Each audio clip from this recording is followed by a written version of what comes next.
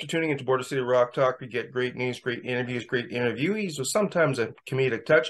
Make sure you hit the subscribe button, that guitar icon thingy, Border City Rock Talk to your right, or my guest, Stephen Bassett's going to kick your butt, or Art Bell's going to come back and kick your butt. You hit her pretty hard there, Rick.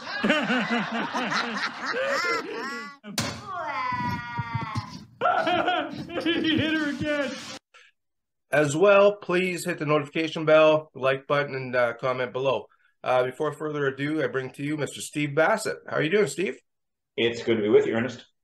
Really is. I remember listening to you, and I got started in the genre of uh, ufology, um, listening to your Art Bell show. How many times did you appear on uh, Art Show, Dreamland, and or Coast AM? I think, including Nor, and, you know, of course, George Noory.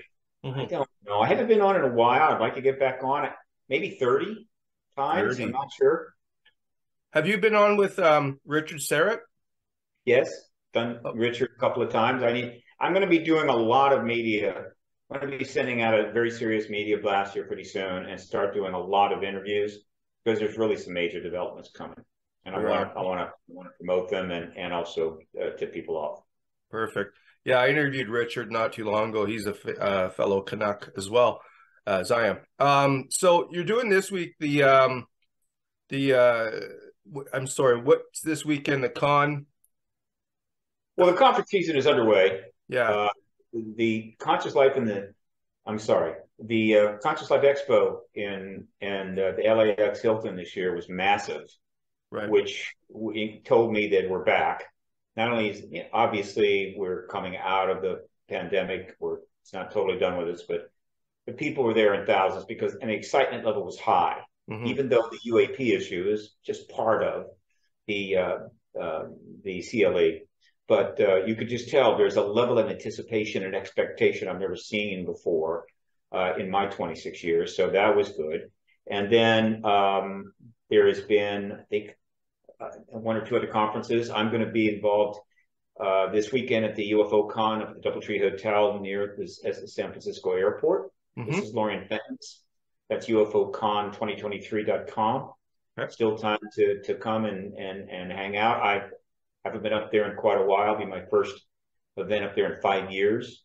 So I'm looking forward to meeting old friends. Uh, DoubleTree Hotel, UFOCon2023.com and then uh, and, and you can find the upcoming conferences which i generally keep up pretty well mm-hmm. at my website paradigmresearchgroup.com okay. Or just google stephen bassett it comes up and you go to the resources upcoming conferences and you can see the list of conferences that are that are that are in development. Some of them are extraordinary.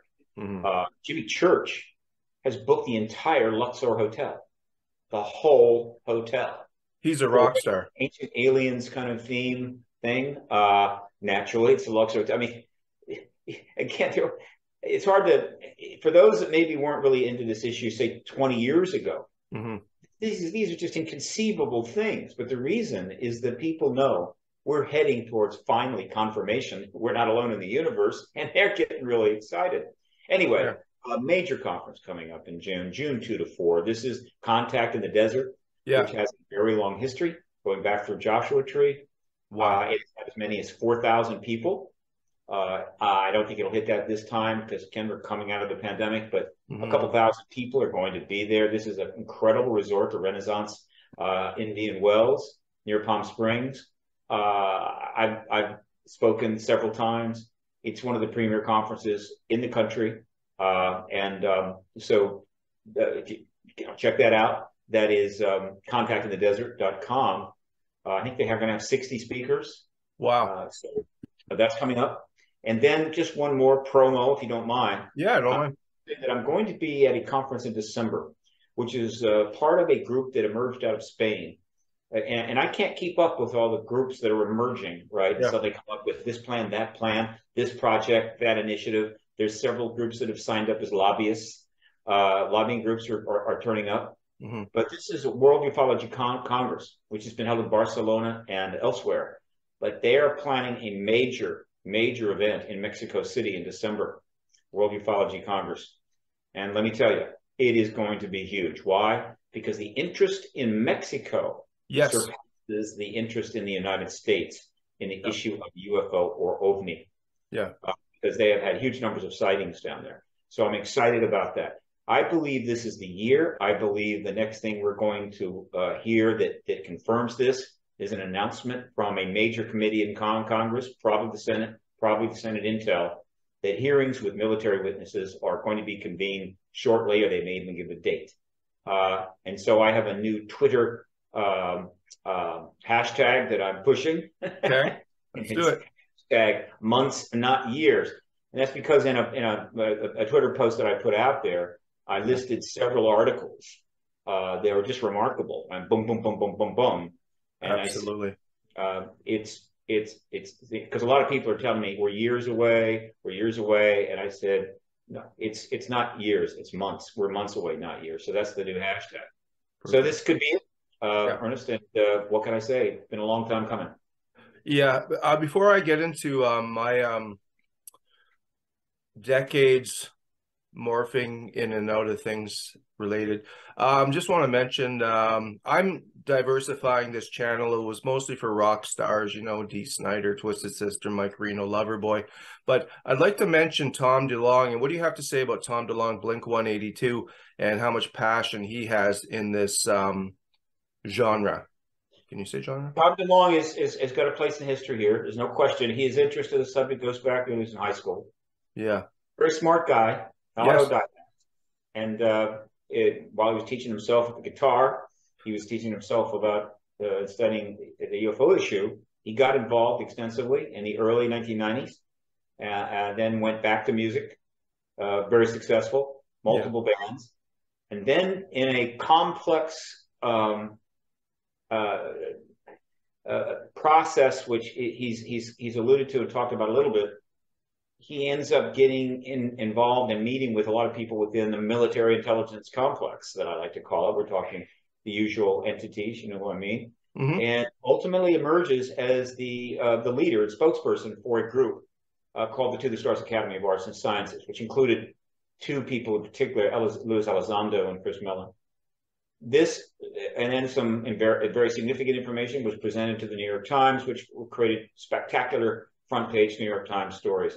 Uh, the full origin of all of that is not fully clear yet. The point is, is that those two stories in the New York Times, which some aspects of it have been challenged and are and are being viewed by, some, some skeptics and so forth, and they may find that there's some things that are not quite exactly what we thought, Mhm. but ultimately it won't matter. Those two stories were like a a nail that that popped a balloon that'd been inflated for 75 years. All right.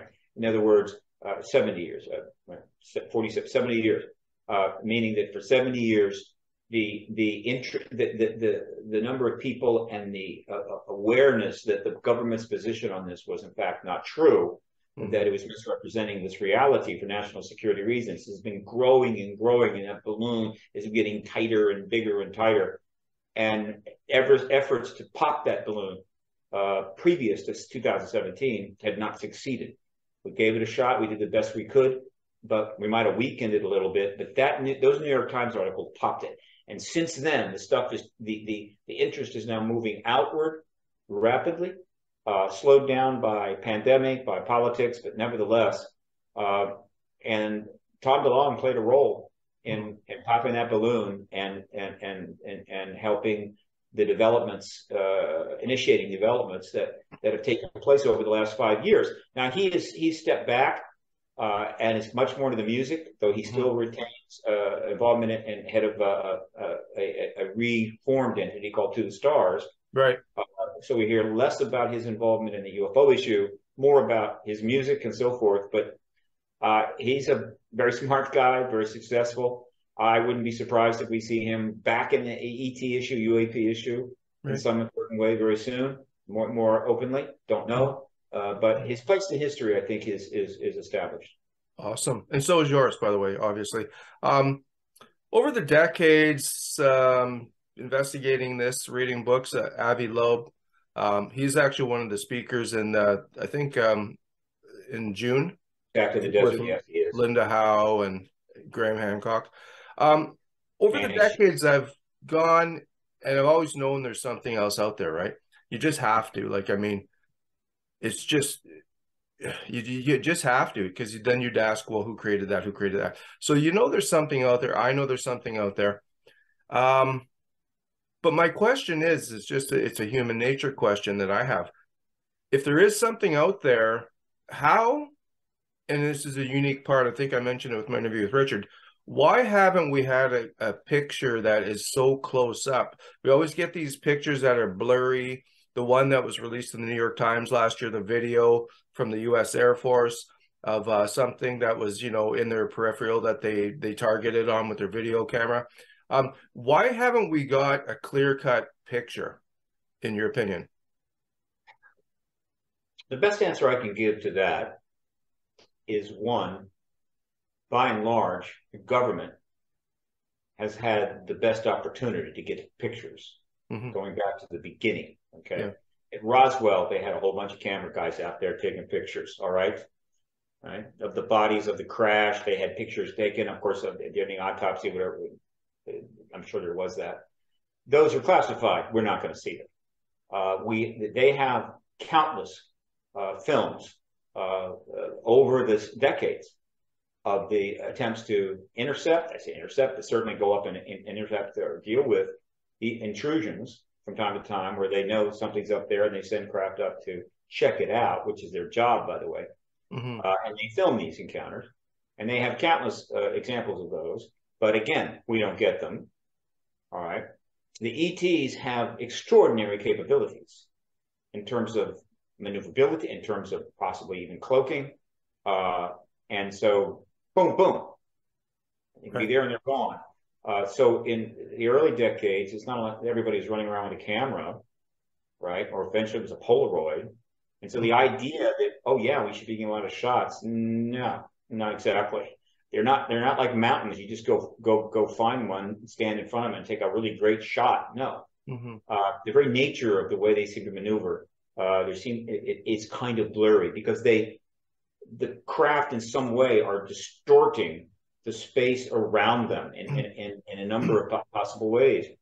Uh, so there's that. As we move forward, though, and there's more cameras, and everybody's got one, you're starting to see more now, and over the years, there have been some pretty crisp, clear photographs, right? You go and you can find them online. But uh, yeah, and, and there's probably others in researchers' files that are not online. But again, under the truth embargoes protocol, if a photo is fuzzy, it's useless. And if a photo is clear, it is fake. That's the protocol. There yeah. are no ETs, therefore there can be no photos of a real ET craft. It's either not decipherable or it's fake. And so for a lot of people, they don't realize there have been a number of crisp photos that have been out there, but they are not elevated and they're not put on the, the, the front page of the New York Times. Those gun camera clips were. Now understand those three gun camera clips or three, well, basically, they're basically um, three um, uh, called, it's hard, clip is not quite it. Because you've got cameras, you've got FLIR, which is infrared radar and so forth. But these surveillance uh, clips are what the, the government, and what the Department of Defense was willing to allow out the door. Mm. Right? It's not what somebody went in and sorted through thousands of them and said, ooh, here's the good stuff. And some recent analysis uh, on these, uh, particularly by Mick West, uh, who did an extraordinary analysis on the uh, the gimbal, uh, is starting to indicate that some of the the the way they maneuvered or were, were acting within that clip actually might have been the result of of the, uh, the, the devices that were recording them, right? Yeah. Uh, which takes some of the mystique out, though it doesn't identify what they are. So in that case, again, we're getting what they allowed out the door. If you, I assure you, if we were allowed to go to the vaults and review any footage from intercepts by our, our Air Force and or Navy, Air Force over the United States, Navy over the ocean, and see what they have. I have we would see some spectacular stuff. All right. And so when you add it all together, uh, you end up with this sense that why can't we get a good photograph? Mm-hmm. And and and, it, and that's sort of true, but if you know the full history of this, you can understand why. right? The, the, the whole thing, the whole truth embargo is set up so that you either can't get the photo or if you get it, it's not real. Uh, and then you classify anything that's in uh, government hands. And so the result is you have a limited amount of that out there. Um, and I and the average person is not going to understand this. They're just going to go, "Why yeah. is there a photograph?" And I, I understand. Yeah, that. I appreciate that. Um, that brings me to a couple other things um, related. Well, it's all related. Um, the reason why I particularly believe there's something out there is uh, one of the first books I purchased about, I think I got it as a gift. It was about 18 years old. It was Richard uh, Hoagland's The Monuments of Mars, right? The Face on Mars. That started me off on that journey because personally, I don't think it was a trick of light or any kind of uh, weathering. But there is a Canadian former general, uh, Paul, and his name escapes me he's one of the most high up officials that I know of that said there are definitely um, I don't know if he used the word extraterrestrial, but he said unidentified flying objects. You know which Paul I'm talking about? You're saying he was a former general and now he's a comedian? No, no, I didn't say comedian. Canadian. Oh, Canadian. Okay, all right. Canadian. Well, we have a lot of comedians here in Canada, but Paul uh, uh, Hellyer, I think it's Hellyer. Well, Paul Hellyer was a former politician.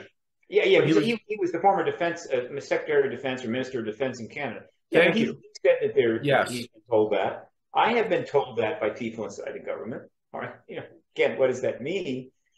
I assure you, plenty of people have been told that by people inside the government who, even when they were working, but in a way that it wasn't going to end up on the New York Times. Yeah.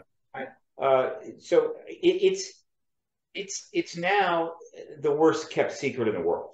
Right. At this point, it's the, simply the worst kept secret in the world. There was a time when it was a well kept secret, a mm-hmm. well kept classified matter, no question. There was a time when the government said Area 51 didn't exist at all. Yeah. Even though we it was being seen on Google Earth, right? And, and yeah. finally, oh yeah, it does exist. Look, this whole this whole charade, this game, this passion, this kabuki theater stuff look, it's part of the national security reality that emerges out of the the the, the, the creation of the atomic bombs and the the the, the to the death um, uh, uh, what, what am I trying to say? Political battle, ideological battle between capitalism and communism, east and west, and so it's generated this this this era era that we've been in since I was born the yeah. era of mutual assured destruction, which is, I'm sure anybody back in history would, would, would go, what? Right? You know, what? What, what are you talking about? Mm-hmm. Yeah, we have our wars and everything. We, you say mutually assured destruction of what? Oh, the planet, or, or at least civilization. What? And there we are, right? The ultimate, the ultimate end, end game of what humans have just been addicted to since they became civilized, which is war yeah. We're addicted to war. Now we've always been, you know, tough. Humans survive. They kill what they have to kill, and they will kill each other. That goes back hundreds of thousands of years. Right. There were many, many strains of Homo uh, that didn't make it, and I think in some cases the, re- really reason they didn't make it is another strain of Homo killed them all off. Whatever. And so, yeah, we have a, a, a violent past in a sense, like every other uh, probably mammal and and and most uh, most animals of, of, any type, any species. Um, but once we became civilized, we needed to leave that behind. We couldn't do it, and so for the last twelve thousand years, war has been the expression of that fundamental uh, violence, that fundamental need to survive by killing. And we just can't stop it. All we do is kill more and more and more and make weapons that could kill more and more and more. And we finally reach the ultimate, the penultimate point mm-hmm. where we live in an age called mutually assured destruction, which is MAD, M-A-D, one of the m- most appropriate acronyms ever in the English language. Okay, right. So that's what we And so the the point is is that the extraterrestrial presence and the the process leading to its confirmation disclosure worldwide are connected. And that's where most of my uh, lecturing is going. Uh, I'm not, I don't like to get into the granular stuff, uh, details of like a particular analysis of this particular film and showing the stuff. I don't care, care so much about that. Mm-hmm. I'm interested in the overall public's perception and the, and the, and the, and the, and the media engagement and ultimately the disclosure process. And so what is profound to me is when you have two substantial sections of two consecutive national um, uh, defense authorization acts in a row with huge language setting up a public facing entity within the United States Congress, which uh, people involved in this issue 25 years ago would be just completely astounded that it's happened. That's what's important. And so we're moving forward on this, but, and I'll restate it again. The emergence in the modern era of extensive ET activity and the emergence of the era of mutual assured destruction began at virtually the same time, and they are interlinked. Uh, and disclosure is going to hopefully reveal that connection. So, for the viewers that um, have been following this topic for years, and 20 years ago, I guess, uh, roughly, uh, Dr. Steven Greer um, and the panel met at the um, um, the press um, they had the press release, and I think it was press one club, of the most press club, uh, uh, yeah, press conference May not May May nine two thousand one major event. Yeah, so at that time there was uh, buzz that disclosure was any time within a few years of then. So, what would be the difference now of you saying that you believe disclosure is in months, not years? And the second part of the question would be, why would the government not be disclosing this because I, years ago they had the uh, well, it would frighten the people and the humanity wouldn't know how to react to it. I think that's bullshit. I don't believe that is the reason they held it back. Um, I think that was kind of a, pardon. But uh, the situation in May of 2001 was interesting.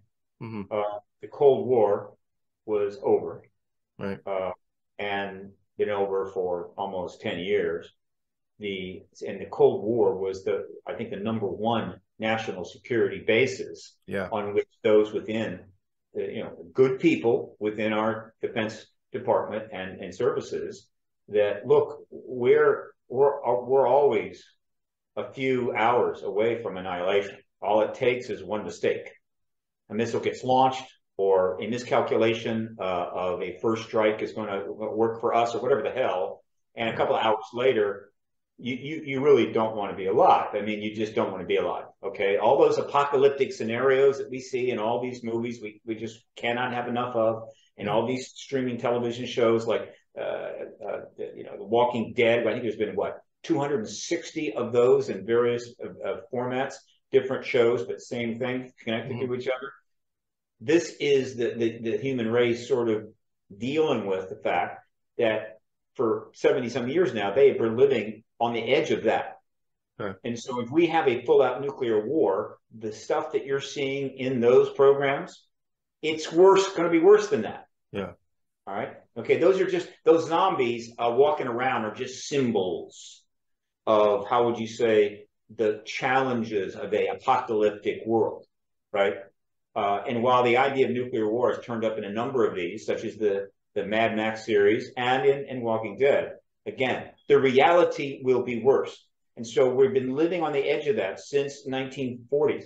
And so I, don't no no one should be shocked, bitter, or or upset that the, the those that are in charge of our protection, national security, felt that the disclosure event that that revealing that yes, you're not alone in in, in this universe was not something that they could do and feel comfortable that with the results of that or the consequences of that would not have an unintended impact on the uh, nuclear standoff, right? The Cold War, and and result in an accident or a mistake. They just it was just too big uh, of a variable to to to uh, to to game out ahead of time, right? And who wants to take that chance? There's a whole list of things that governments would not do during this 70 some year period mm-hmm. uh, of the, the era of mutual assured destruction, which is continuing right now. There's a whole list of things that they don't want to do. And to give you a perfect example, you, you have a situation where the Russians, because things are getting a little tense over there, decided to screw with one of our drones. I'll, I'll assume it was over international wa- waters. It probably was. Mm-hmm. So they dumped some fuel on it and they bumped it a little bit, and uh, the propeller was damaged, and the thing crashes into the Black Sea. This mm-hmm. is massive. This is huge news. It's everywhere. And you've got the national security guys coming on and talking about it and the implications and this and that and calling in the ambassador and blah, blah, blah. This is over dumping some fuel on a, and, and maybe bumping a drone. Mm-hmm. So, in other words, you're not supposed to do that in the, during this, what I call Cold War II. You can't bump drones. And so the people inside the government are contemplating uh, should we announce there's an extraterrestrial presence, confirm it, and bring the evidence out? Mm-hmm. You think that's not a little bit more difficult to project than bumping a drone? Yeah, it is. And so that is the reason. But regardless of what the potential implications of that are for our, how would you say, risk of nuclear war, mm-hmm. the fact that hundreds of millions of people around the world, perhaps actually based on the polling, billions of people in, in, in this world, are quite attuned to the fact that we're probably not alone. Mm-hmm. And, and the majority want to know. That's been shown in the polls. So when you got a couple of billion people that kind of know that this, that the, uh, the policy is, is, they know the truth. They basically know there's a truth here. Mm-hmm. At some point, it, it's actually more damaging to continue to maintain that embargo than it is to end it. And I, and I believe that a case can be made intellectually that ending the truth embargo may be just the ticket we need to get out from under this mutual assured destruction mode that we have been in for one full lifetime. And so if that intellectual case prevails in the Congress and the, and the DOD, which I believe it is, then we will certainly get disclosure because frankly, they don't have an answer. There is nobody in the Department of Defense or in the State Department or anywhere in the intellectual matrix that is part of our United States government is able to walk in front of a camera tomorrow and give a cogent explanation of how the hell we're going to get out from under mutual assured destruction and bring our nuclear weapons down to basically zero or maybe just enough to deal with some particular thing, right? No one, don't, they don't even try. And so the idea that disclosure and the confirmation that there's an extraterrestrial presence leading to who knows what, but I believe open contact, if that offers a way out, I think some people inside the DOD and in, in our in our Congress are starting to think, yeah, that may be the only way out. And that's the kind of stuff I talk about. And I, I'm hoping that CNN, MSNBC, Fox, and some of these other news organizations will maybe pay attention because no one is going on these shows and talking this way. They're just not bringing this up. They're staying within a fairly narrow band because they don't want they want to be asked back, right? Meaning, you know, well, if I too far, if I say this is too aggressive, I will be asked back. I don't, I don't, I'm not concerned about that. This message needs to get out there. Also, the message needs to get out exactly what the hell's going on here. People think that there's a lot of people out there, I don't blame them, who think that the reason this program has been set up at the DoD, the reason these members of Congress are, are putting in legislation is that they just figured out there's a phenomenon. Oh my God, we don't know what it is, and we probably should deal with that. Hmm. No, that's not it at all. There are people inside Congress, people actually who are sitting members, people who are on the staff, and people within the Pentagon, within the Air Force, the Navy, the D- CIA, you name the agency. There are people in there that know full well that the United States government has known about the ET presence since 47, latest, mm-hmm. and has been researching, engaging, tracking it for every single day for the last 75 years. They know that. And so, well, then what is happening? What is happening is what I call a public relations driven extrication project or mm-hmm. process in which all the right things are being done that should have could have been done in 47, 53, 93, 94, but we're not. In order to set the stage for a head of state, the president, to confirm the ET presence and do it in a way that is responsible. The public participates, the DoD participates, the Congress participates, and it's it's pretty much uh, transparent. Best setting of, of creating a, a, a, a way for the, the president to come forward and make that confirmation with minimum disruption. That is what's going on. They're, they're trying to end the truth embargo, right? not mm-hmm. go finally figure out what this phenomenon is. And that is that is that is generating a lot of cognitive dissonance because a lot of people are going, I, I don't I don't get it. Why why are you acting like there was no evidence going back? Why are you acting like everything we, we everything that came out and we learned about going back to 47 didn't happen? It, why, why aren't you just coming forward and telling us? I understand that cognitive dissonance. I want to help, right? Whether mm-hmm. you're a journalist or an academic or just a regular American or Canadian, I want to help.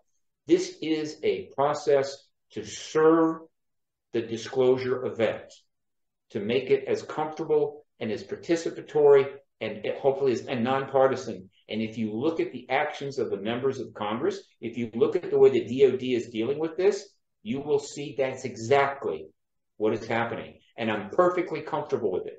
I wish it was going faster, mm-hmm. but a worldwide pandemic infecting billions of people and killing tens of millions, yeah, that's kind of a disruptor, as well as uh, a, probably a higher level of political dysfunction in the United States, which always has political dysfunction, but at times it gets worse. Well, it's worse. And so I appreciate that. If things, if there had been no pandemic, if there had been a more stable situation politically in the United States, I think we would have had disclosure three or four years ago. Perfect. Well, I think we can leave it here. I think uh, my viewers are um, definitely going to be interested in watching this interview. Uh, before I forget, what's the opposite of unsubscribe? Subscribe, yeah. Uh, subscribe to the channel. To, uh, my updates, uh, PRG updates, free on my website, paradigmresearchgroup.org. Yeah. Please follow me on Twitter, Steve at Steve Bassett or Paradigm Research Group. Uh, Paradigm Research Group has a Facebook page. Yeah. I've got a personal page, which is really an activist page, but I've only got about 18 slots left. But give it a shot.